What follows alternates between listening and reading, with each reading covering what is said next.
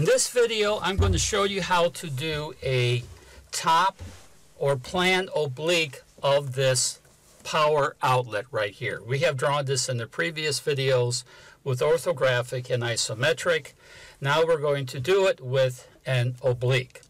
Now remember, we need to choose the surface or the plane that has the most interest and is the most difficult to draw.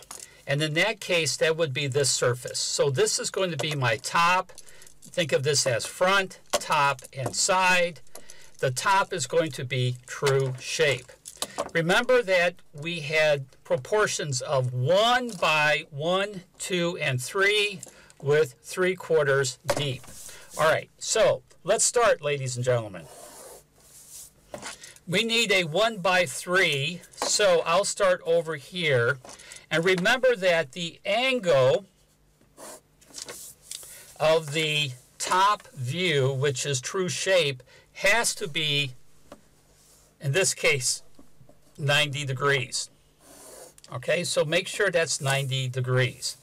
And now what I'm going to do is I'm going to go out three. One, two, and three. All right, so that would be the top of my power outlet. This angle here is greater than 45 degrees. Remember, it cannot be 45. We drop vertical lines from these major points down. And remember, we have to foreshorten, okay? Okay, so if this, this is one unit, and a full one unit would be there, all right? But we have to short it, foreshorten to three quarters. So that would be a full one unit. So it would be one by one by one. But remember, ladies and gentlemen, is that this is really three quarters of a unit. That's one and that's three quarters. So what we have to do is this, is we have to divide this to get three quarters. So that is really going to be the depth of our power outlet right there. So what we now have done is we have created the box that we're now going to inscribe this top oblique of this power outlet. And I will show you how to do that. A couple of things to remember. First of all is that I'm going to make assume that these are three quarters of a unit and you will see how I draw that.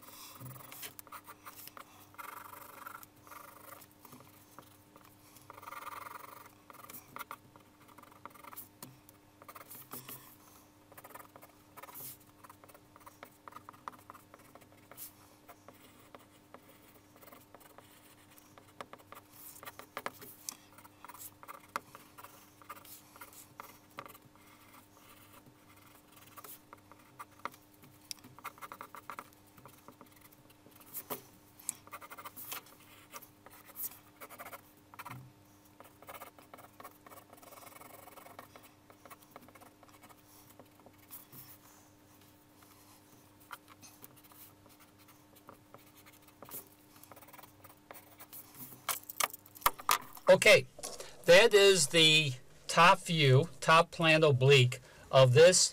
As you can see here that this top surface is true shape because the reason is because it is a top orthographic view and that the axis that recedes is three quarters and you need to foreshorten.